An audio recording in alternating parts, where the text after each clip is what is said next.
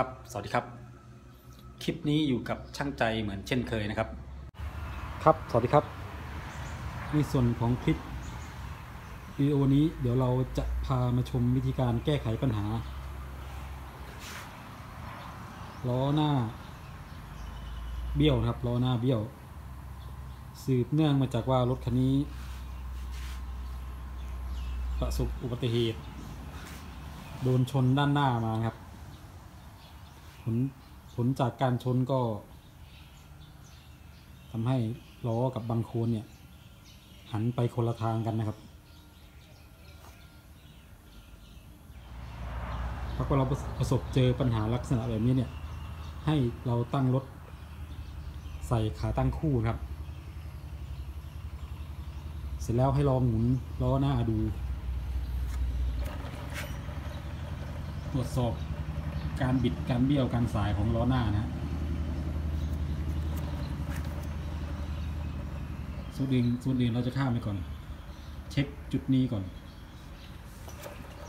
ถ้าหมุนดูแล้วล้อหน้านี่ยังวิ่งได้กลมดี ไม่มีการดิ้นสายไปมาไปมานี่ก็ เราจะตัดปัญหาเรื่องล้อออกไปได้เลยนะครับ ส่วนต่อมาที่เราจะเช็คนะครับ เดี๋ยวเราจะต้องรื้อชุดนี้ออกมา ตรวจเช็คโชคหน้าครับโชคหน้า ตรวจเช็คแกนโชคหน้า ส่วนมากแล้วเนี่ยถ้าชนชนไม่หนัก เราจะตรวจพบปัญหาที่แกนโชคหน้าบิดแกนโชคหน้าเบี้ยวนะครับ เดี๋ยวต้องขอเวลาถอดแป๊บนึงครับ ครับเจอแบบนี้เราก็ต้องรื้อ หน้าออกมาครับ หรือพวกล้อหน้า หรือหรือโชคสองด้าน แต่อันดับแรกเลยเราต้องถอดล้อออกก่อนนะครับ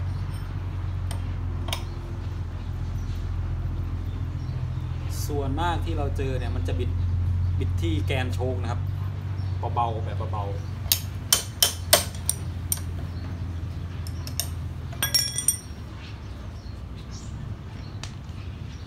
ถ้าไม่ชนยับจริงๆก็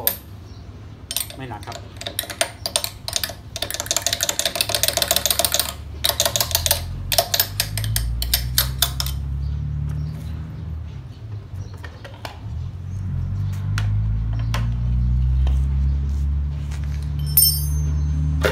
ถอดล้อหน้าออกเสร็จเรียบร้อยแล้วให้เรามาที่แกนล้อหน้าครับ แกนล้อหน้า แกนล้อหน้าโดยปกติเนี่ยถ้ารถปกติไม่เคยมีการชนเนี่ยมันจะเสียบทะลุจากด้านนี้มาทางด้านนี้แล้วก็ทะลุไปหาชกชกอีกด้านหนึ่งได้เลย แต่ถ้ามันมีการบิดเบี้ยวของ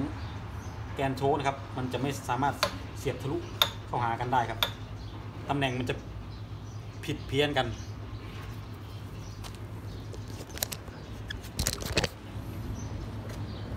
มาดูชัดๆนะครับ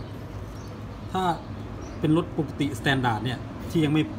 ผ่านการชนเนี่ย มันจะสามารถเสียบทะลุเข้าหากันได้ตรงๆแบบนี้เลยนะครับ แต่ถ้ามันมีการบิดการเบี้ยวของแกนโช้คเนี่ย มันจะไม่สามารถเสียบเข้าหากันได้ มันจะเอียงนิดนึงครับตำแหน่งการร้อยน็อตแกนล้อหน้าเนี่ยไม่สามารถแทงทะลุไปอีกด้านหนึ่งได้ มันจะเยื้องกันนิดนึง ซึ่งถ้าเป็นรถ standard มันจะไม่เป็นแบบนี้นะครับ เดี๋ยวต้องรื้อชุดโช้คหน้าออกมาเช็ค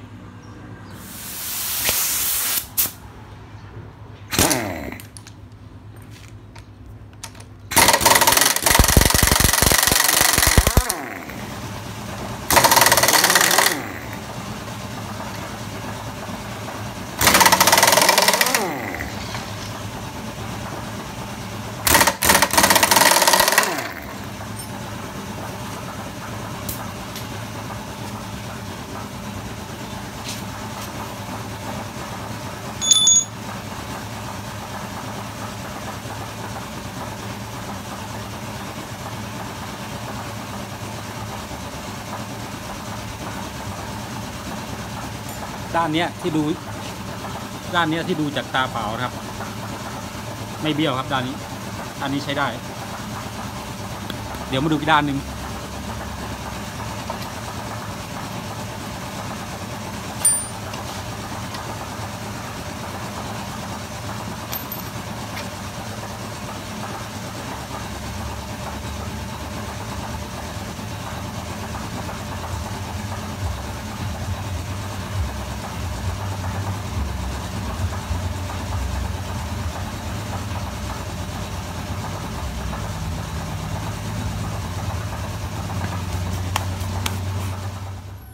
ในเคสนี้นะครับสองสองสองด้านเนี่ยยังไม่พบเจอการเบี้ยว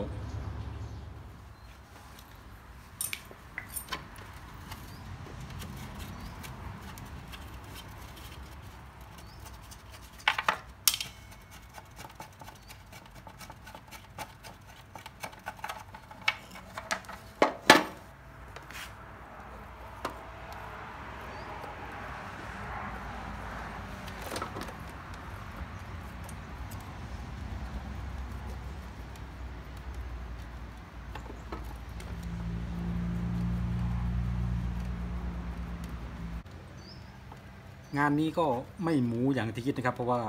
เราตรวจพบว่าโชคยังใช้งานได้ ปัญหามันเกิดจากจุดนี้นะครับ มัน มันบิดลงไปด้านล่าง ต้องถอดออกมาดัด ซึ่งบอกได้เลยทำยากครับ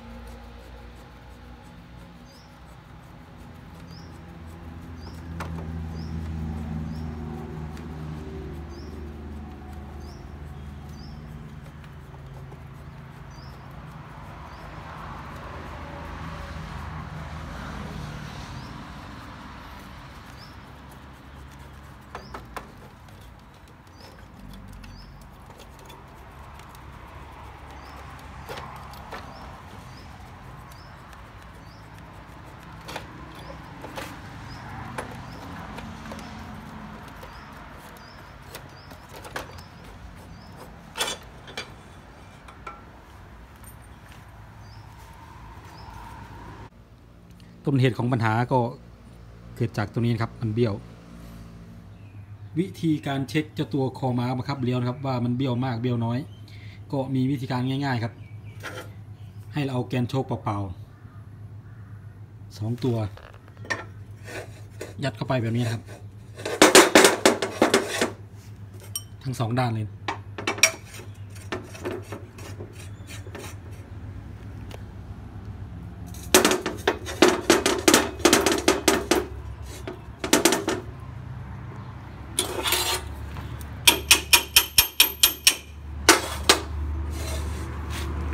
ให้เรายัดแกนโชคเข้าไปทั้งสองด้านเลยนะครับ เสร็จแล้วเอาไปขึ้นบนแท่นอัดไฮดรอลิก เราก็จะมองเห็นภาพการบิดเบี้ยวได้ชัดเจนมากกว่าที่เราจะมองตาเปล่าเผินๆนะครับ มองตาเปล่าเผินๆนี่ก็ค่อนข้างจะสังเกตได้ยาก ถ้ามันไม่เบี้ยวหนักจริง ๆ เนี่ยแทบจะสังเกตมองไม่เห็นนะครับ เคสนี้เคสนี้ก็ มองมองเห็นภาพลำบากครับต้องเอาไปต้องเอาขึ้นไปบนแท่น ครับเมื่อเราเอามาวางไว้บนแท่นอัดไฮดรอลิกนี่เราก็จะมองเห็นความเบี้ยวได้ชัดเจนเลยครับ สังเกตปลายด้านนี้กับปลายด้านหนึ่งเนี่ยมันจะไม่เสมอกันนะครับ มันจะห่างกันตั้งเยอะปกติเนี่ยวางไปเนี่ย มันจะต้องแนบติดกับชิ้นเหล็กด้านล่าง อันนี้มันเพเยอด้านหนึ่งมันมีด้านหนึ่งเพเยอนะครับ คือด้านนี้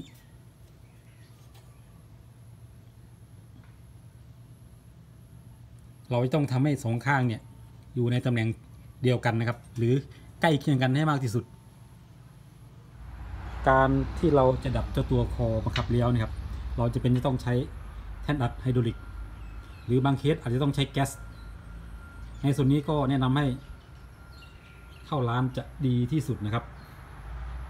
เดี๋ยวคอยสังเกตตอนที่ผมใช้แท่นอัดไฮดรอลิกกดลงไปนะครับ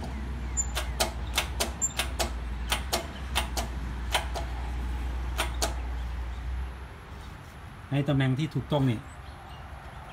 แกนโชคด้านนี้ กับแกนโชคด้านนี้เนี่ยจะต้องอยู่ในตำแหน่งที่เสมอกันนะครับ อันนี้มันเสมอเพราะว่าเราใช้แท่น อัดเทอลิกกดกดมันเข้าไปนะครับ เราจะต้องกดย้ำมัน ไปเรื่อยๆครับ กดปล่อยกดปล่อยจนกว่ามันจะเข้าล็อกเข้าที่นะฮะไม่สามารถทำได้ในครั้งเดียวนะครับ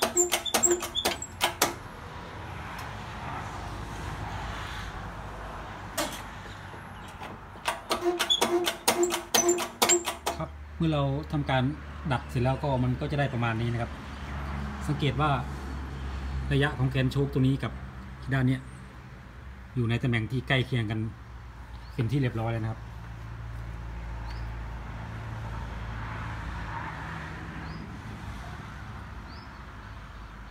วันนี้เราดัดดิบๆครับ วันนี้ไม่ได้ใช้แก๊สเพราะว่ามันเบี้ยวไม่มาก แล้วเดี๋ยวเราจะไปติดตั้งกับที่ตัวรถ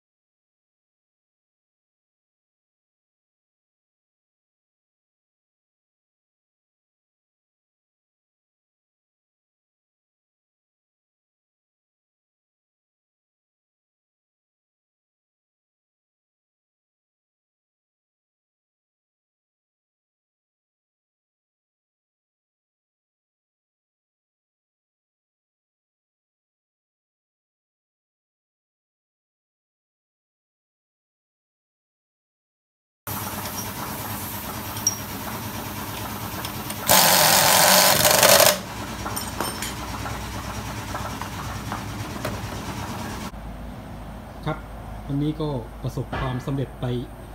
อีกหนึ่งคันครับกับปัญหาที่ว่า ที่แรกเราคิดว่า